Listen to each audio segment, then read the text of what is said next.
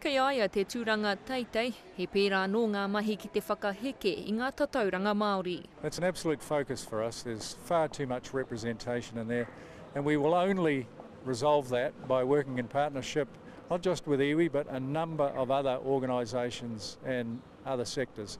Ko tana hiahia kia puta atu āna kaitakawaenga Māori ki ngā hapori hei kanohi kitea. Our iwi liaison officers are stunning, they do great work But right across the policing area we can do more in the visibility space.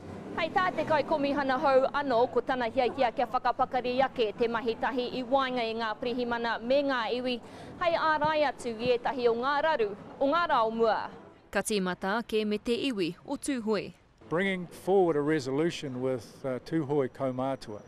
Now that isn't at an end yet and I'm committed to ensure that we resolve that over the next few months. Kua whai akoranga hou anō te tari mō te mahi tahi me Ngāi Māori, otirā kia tukuna mā ngā kaitakawaenga e para te huarahi, Kaua mā ngā pū me te mahi whakamataku. We've learned some really, really important lessons having looked at the way we dealt with that matter and there's some things we absolutely won't be doing again.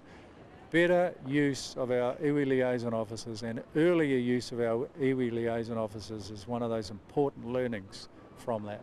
He totō Māori ōna nō te iwi o Ngāi Te Rangi i Tauranga. I know Quite a bit about my whakapapa and yes I'm very proud of that. Mā te aha i tērā hei āwhina i a ia i roto i āna mahi me āna whakataunga mō ngā tau e toru. Irina Smith, Te Karere.